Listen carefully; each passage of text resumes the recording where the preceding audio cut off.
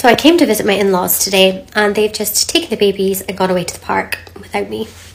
So I'll take this opportunity to tell you about what we've been up to. So we went to visit Pets and Care today, which is at the Hadigan Retail Park, and we were going to visit their animals. I am crazy about visiting pet shops. I love seeing all the little animals. I wish I could own all of them. I just, it's my happy place. So I was delighted to go along. And Everly was drawing a raffle. So here's a look at our little visit today. So this place is situated at Hadigan, where the old Blockbuster used to be. Do you want to try? No. A key? I don't A key? it works there. Can mommy have Theo tried to give the little gerbil his key. this thing is so stinking cute.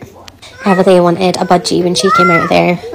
I really like those parrots, they're so cute. So something I didn't know is a lot of pet shops employ staff, but the staff don't actually have proper training on animals. This store actually have so much experience. So if you need guidance on supplements or different types of food or even the right size of cage for pets, then this is absolutely the place to go. I think when you go into a pet shop, if you're looking for treats and stuff for your pets, it can be really difficult to think, well, what's the best? What's healthy? In here, you can go up to a member of staff and just say, This is what kind of dog I've got, this is what he's into, and they'll be able to tell you exactly what to get. They've got organic, they've got raw, they've just got everything. So it's definitely worth checking out.